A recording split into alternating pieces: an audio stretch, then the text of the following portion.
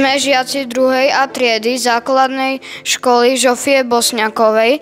Patronom našej triedy je svätý Martin. Svetý Martin je patronom chudobných. Doposiaľ nie je známe, v, v ktorý deň 17. novembra pripomínaný svätý Martin z Tours narodil. Bolo to však v údajne v roku 316 v Sabari, dnes v Sombateli. Na prianie svojho otca sa stal dôstojníkom rímskeho jazdectva v Galii.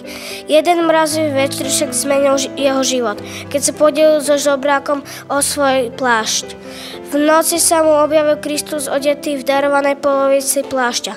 Martin opustil armádu, nechal sa krstiť a stal sa pustovníkom. Okolo roku 360 si Martin, povolaný Hilariusom, biskupom v Poitiers v blízkosti Liguže, postavil pustovňu ktorá sa rozrástla do prvej reholnej komunity, kláštora Marmutier, liaheň misionárov.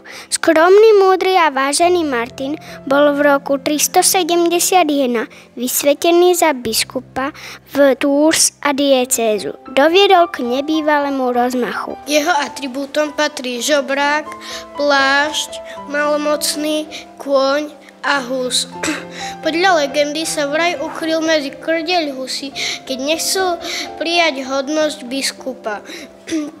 Je patrónom okrem iného aj vojakov, jazdcov, kováčov, krajčírov, vinárov, abstinentov, domácich zvierat a husí a ďalších. Viete, viete, kto je svätý Martin? Poznáte jeho príbeh? Čo je to Martinská hus? Počúvajte.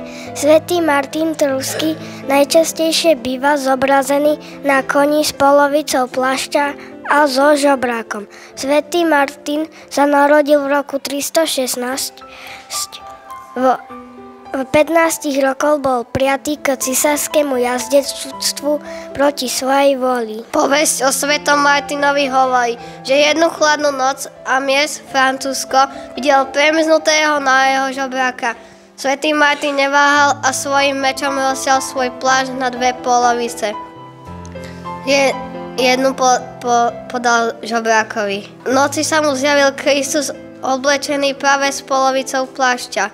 O niečo neskôr, keď mal asi 22 rokov, bol z armády prepustený a cestoval po celom Taliansku a Dalmacii. V roku 372 svätý Martin prijal biskupský stolec v Tours a žil na, naďalej ako mních vo svojej chateči. Svetý Martin prichádza na bielom koni. Toto prastaré porekadlo označovalo, že v dobi dobe, kedy tento svetec oslavuje svoj sviatok, padal sneh a neovrátiteľne sa blížila kráľovna mrazivých večerov a dlhých nocí pani zima. Na svätého Martina plače husia rodina, na svätého Martina kúri sa z na Martina medveď líha. Ku sviatku svätého Martina patrila dobre vykrmená svetomartinská hus. Prvá povesť hovorí, že husy svätého Martina pri kázaní toľko rušili, že teraz píkajú na svetomartinskom pekači.